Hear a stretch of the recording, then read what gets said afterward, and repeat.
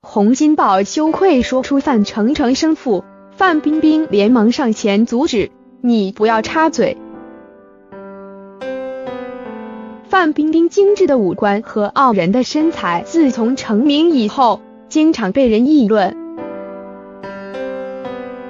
确实，范冰冰之所以能够在娱乐圈里有这么大的影响力，也得力于自己父母遗传的良好基因。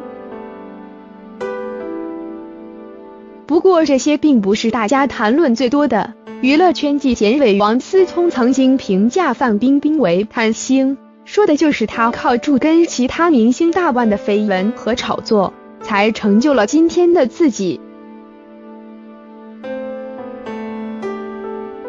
我们都知道，范冰冰当年在《还珠格格》里饰演的一个不起眼的小丫鬟金锁出道，那时的青涩，现在在她身上已经看不到。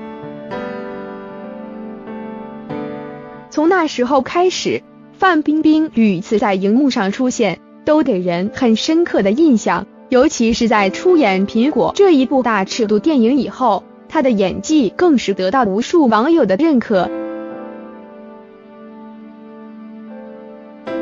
甚至有网友调侃：“马震这种高难度动作都能演得那么逼真，还能说他演技差吗？”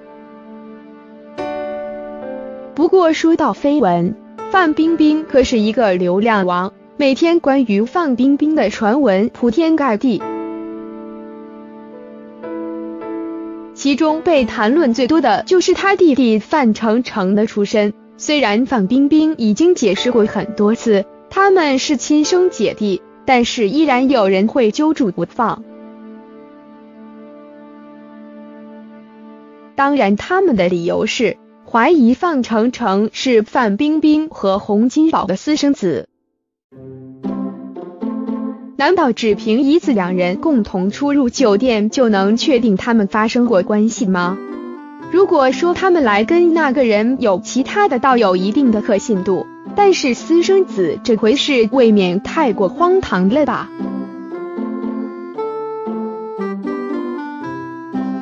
据网友爆料，洪金宝曾经澄清过两个人的关系。说认范冰冰做前女儿，这是我们知道的。但是被问起范丞丞的身世时，洪金宝就显得有些慌乱。